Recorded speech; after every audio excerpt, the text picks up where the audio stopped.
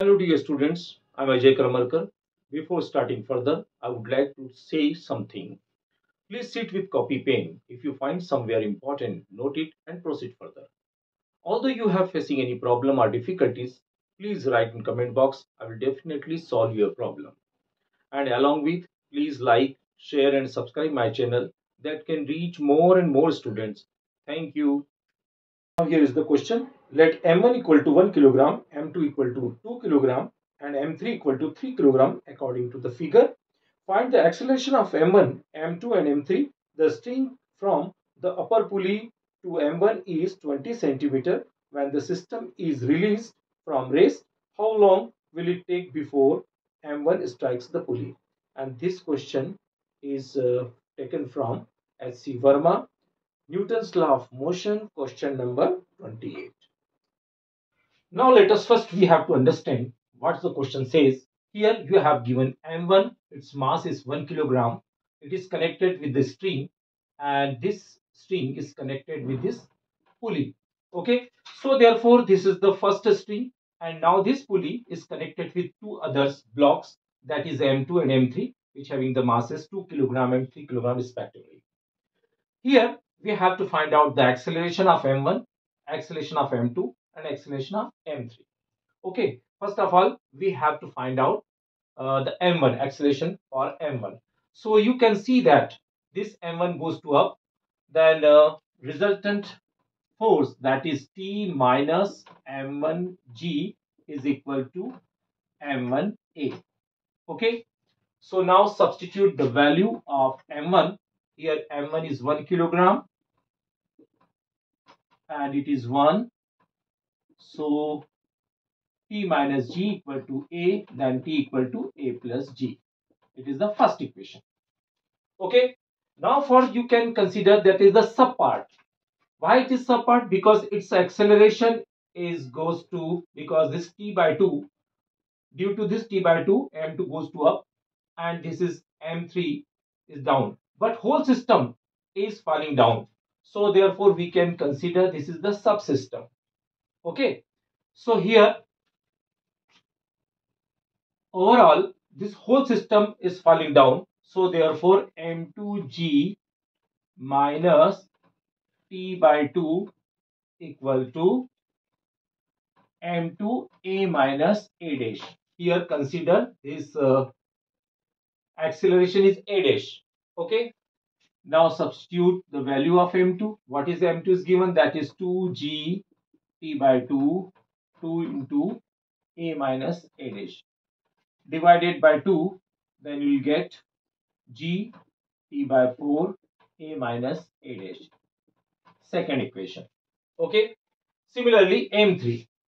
Here m3 because whole system is falling down. So therefore overall we have to taking m2g minus t by 2 here m3g minus t by 2 equal to m3 a plus a dash.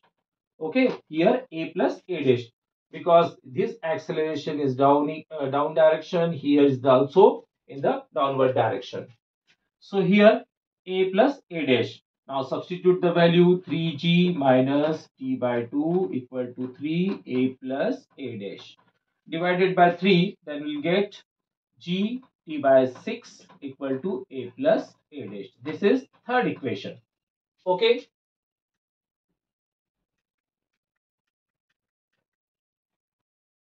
Now solving second and third by adding this equation 2g here uh, t by 4 plus t by 6 taking the LCM 12 4 is at 12 3t 6 is at 12 2t that is 5t by 12 so here by adding t by 4 minus t by 6 then uh, 5t by 12 here minus a dash plus a dash cancel out to a.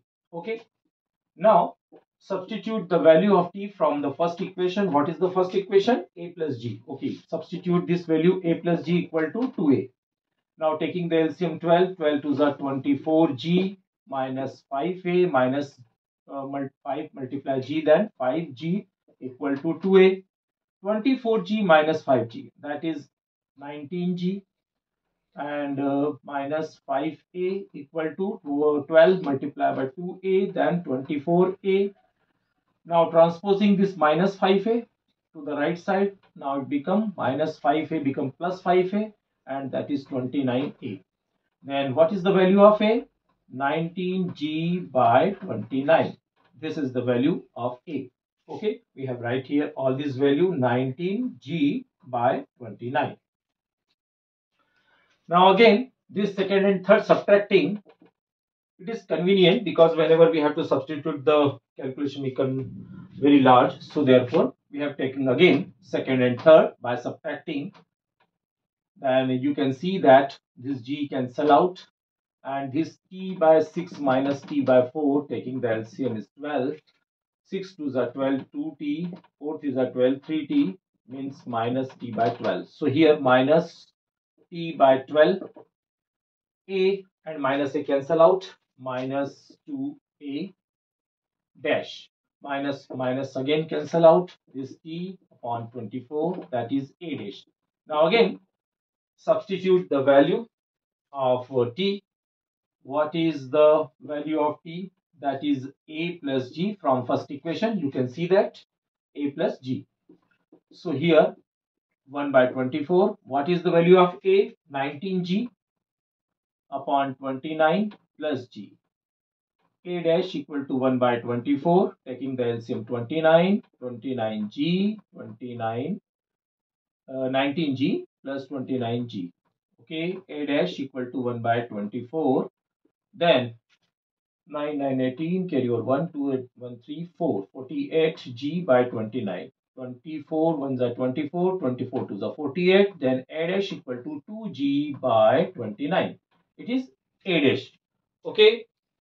Now for m2 you know that acceleration for m2 that is a minus a dash. 19g by 29 minus 2g by 29 that is 17g by 29 okay for its direction is uh, upside. And here for the M3 that is uh, A plus A dash.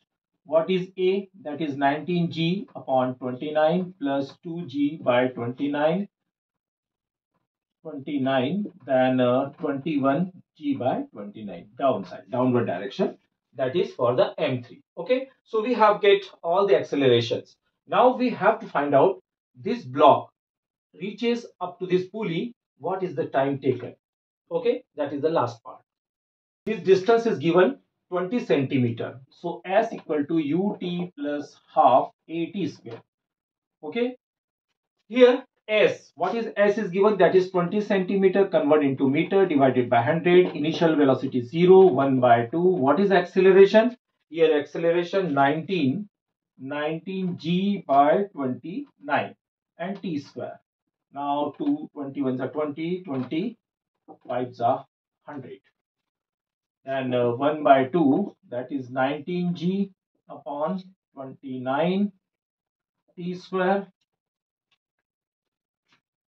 multiply by 10 because we have considered the g's round of 10 meter per second square is 29 t square 29 2s are 58 and uh, 190 into 5 950 t square.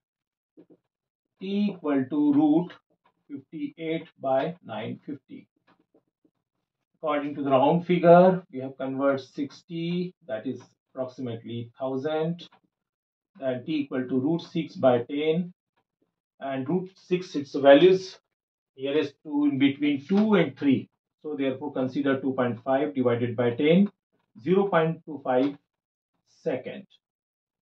So here the all answer we have get from this uh, question. I hope so you understood this question.